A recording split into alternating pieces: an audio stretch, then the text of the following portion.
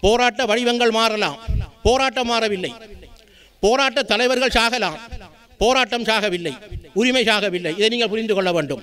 மொத்தமாக எட்டு ஜனாதிபதிகளினால் ஏமாற்றப்பட்டத்தின் ஏமாற்றத்தின் விளைவுதான் இந்த பொது வேட்பாளர்.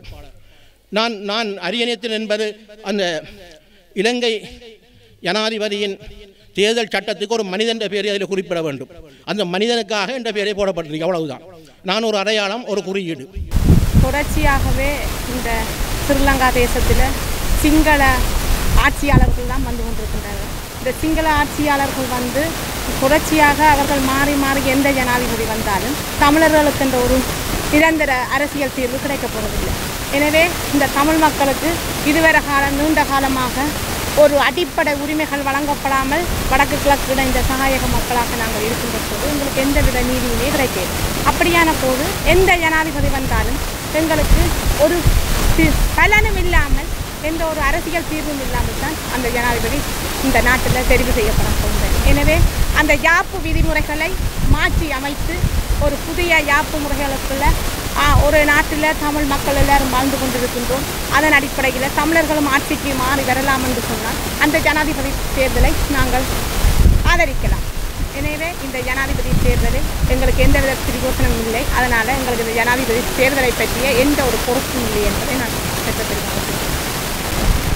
இந்த ஜனாதிபதி எந்த காலத்திலேயும் நாங்கள் இவளை ஏற்றுக்கொள்கிற இல்லை தானே. சிங்கள ம சிங்களவர் மட்டும்தான் இந்த ஜனாதிபதியாக வரையில தமிழன் வரையில அதனால் நாங்கள் இதை ஏற்றுக்கொள்கிறது இல்லை ஏனென்றால் ஏற்றுக்கொண்டாலும் எங்களுக்கான ஒரு தீர்வோ ஒரு நீதியோ ஒன்றும் எங்களுக்கு கிடைக்க போகிறது இல்லை எங்களுக்கு ஒரு சும்மா அடிப்படை உரிமையே எங்களுக்கு இல்லாத போதில். நாங்கள் என்னத்துக்கு இந்த ஜனாதிபதி அஹ், வார இர இல்லையோன்னு சொல்லி நாங்கள் யோசிக்க வேணும். வந்தாலும் சரி வராட்டிக்கும் சரி. டெண்டில் எல்லாம் உண்டு தான் எங்களுக்கு. வேற இவரை நாங்கள் வான்னு சொல்லி கூப்பிடவும் மாட்டோம். போன்னு சொல்லி அனுப்பவும் மாட்டோம்.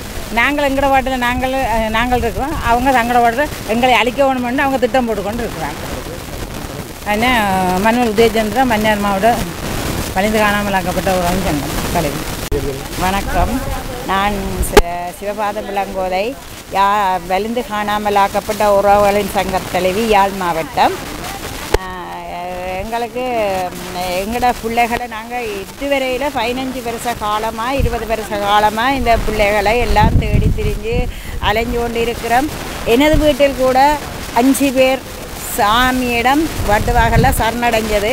அதே போல் எனது பிள்ளைகளை போல் நாற்பது குடும்பம் ஐம்பது குடும்பத்துக்கு மேலே நூற்றி ஐம்பது இருநூறு குழந்தைகள் எல்லாரோடையும் சேர்ந்து சரணடைஞ்சவன் அதே அந்த சரணடைஞ்சவைய எங்களிடம் ஒப்படைக்கிறதுக்கோ எங்களோட பிள்ளைகளை எங்களுக்கு காட்டுறதுக்கோ ஆக்கள் இல்லை. ஆனால் இந்த எலெக்ஷன் கேட்குறதுக்கு ஆக்கள் எத்தனையோ பேரெல்லாம் தெரியணும் அடிபடையினம் சண்டை பிடிக்கணும் ஆனால் தயவு செய்து எங்களுக்கு இந்த எலெக்ஷனால் எந்த வித பிரயோசனம் இல்லை. நாங்கள் நாங்கள் எங்களுக்கு ஆறு வந்தாலும் இவ்வளோ காலமும் இவ்வளோ காலமும் நீங்கள் இதுவரைக்கும் நீங்கள் இந்த உயிர்களை பறிகொடுத்து பறிகொடுத்து மண்ணுக்குள்ள தாட்டதான் மிச்சம். அந்த அந்த அந்த எஞ்சிய ஆக்களை எஞ்சிய பிள்ளைகளை கூட இந்த தாய்மார் ரோட்டில் நின்று கண்ணீர் பிடிக்கணுமே இந்த பிள்ளைகள் நின்று புருஷன் மேர காணையில் என்று தவிக்கணுமே என்ற ஒரு பரதவிப்பில் நிற்கிறவர்களுக்கு ஒரு ஒரு ஒரு ஒரு மன மாற்றத்துக்கு இல்லாத அரசாங்கம் எங்களுக்கு ஒருவருமே தேவையில்லை. நாங்கள் எலெக்ஷனையும் ஆதரிக்கவும் இல்லை ஒருவரும் தேவையில்லை. அவ்வளோதான் நான் சொல்ல பண்ணி வரேன் என்னுடைய பேர் மரிய சுரேஷ் ஈஸ்வரி நான் முல்லைத்தீவு மாவட்டம் வலிந்து காணாமல் ஆக்கப்பட்ட ஒரு ஒன்று சங்க தலைவி இப்போ ஜனாதிபதி தேர்தல்ன்றது எங்களுக்கு இந்த நாட்டில் யார் ஜனாதிபதியாக வந்தாலும் எங்களுக்கு தீர்வு தரப்போகிறது இல்லைன்றதால நாங்கள் அதை பற்றி சிந்திக்கவே இல்லை.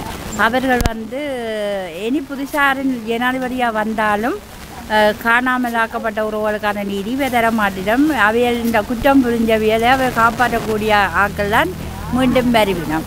அதால் எங்களுக்கு நீதி வந்து சர்வதே இப்போ இனி அப்படி ஜனாதிபதியாக வந்தாலும் வாரவே குற்றம் புரிஞ்சவையை கொண்டு போய் சர்வதேச நீதிமன்றத்தில் நிறுத்தினா நாங்கள் அவைகளை வரவேற்கிறோம். அவர்களும் வந்து இந்த குற்றம் புரிந்தவர்களுக்கு சப்போர்ட்டாக இருந்தால் நாங்கள் அவை ஏற்றுக்கொள்ளலாம் தானே அந்த வகையில் வந்து எங்களுக்கு யார் ஜனாதிபதியாக வந்தாலும் ஆட்சேபனை இல்லாட்டால் தான் எங்கள்கிட்ட இது. நான் எங்களுக்கான தீர்வு நிச்சயமாக கிடைக்காது. எவர் வந்தாலும் எங்களுக்கு இங்கே தரவும் மாட்டினோம். ஒரே ஒரு வேண்டுகோளை நாங்கள் விடுக்கலாம். இனி யார் வந்தாலும் ஜனாதிபதி. குற்றம் செய்தவியலை கொண்டு போய் சர்வதேச கூண்டில் நிறுத்தி எங்களுக்கான தீர்வு எடுத்து தந்தால் அவியல் ஜனாதிபதிகிட்ட ஏற்றுக்கொள்கிற ஒரு சந்தர்ப்பங்கள் எங்களுக்கு இருக்குது. இவெல்லாம் தான் எங்களால் இப்போதைக்கு கூற முடியும். ஜனாதிபதி தேர்தலையா? எந்த வயசுக்கு இப்போ எத்தனையோ தேர்தல் வந்திருக்கு. எத்தனையோ ஜனாதிபதிகள் வந்துட்டுனா எல்லாருமே அந்த முன்கூட்டி ஒரு ஆசை கதையை பேசி மோசம் பண்ணுற ஆக்களே அல்லாது தமிழன் ஒருதன் அந்த பாராளுமன்றத்தில் வந்து ஜனாதிபதியாக வருவாருன்ற நாங்கள் எதிர்பார்ப்பு இருக்குது ஆனால் நம்பிக்கை இல்லை. ஏனெண்டா அந்தளவுக்கு ஏமாற்றப்பட்ட ஆக்கள் மற்றது மற்ற இதுகளும் எங்களை விளங்கும். இப்போ நான் ஒன்று சொல்ல வரேன் என்னென்றால் பாத்திரம்தான் மாறப்போகுதே தவிர பால் ஒன்று தான் இந்த பாலை வந்து ஜொக்கில் விட்டாலும் அது பால் தான் இன்னொரு சட்டி கிண்ணியில் விட்டாலும் அது பால் தான் இதுதான் மாறப்போதே தவிர அரசியல் மாறும் இதை மட்டும் சொல்றேன். ஆமா நீ யாருக்கு ஓட்டு போட்ட? உன் சின்ன தென்னை மரத்துக்கு தானே போட்டிருக்கேன். உண்மையை சொல்றா? என் ஆத்தா சத்தியமா தென்னை மரத்துக்கு தானே போட்டேன். வேணாண்டா.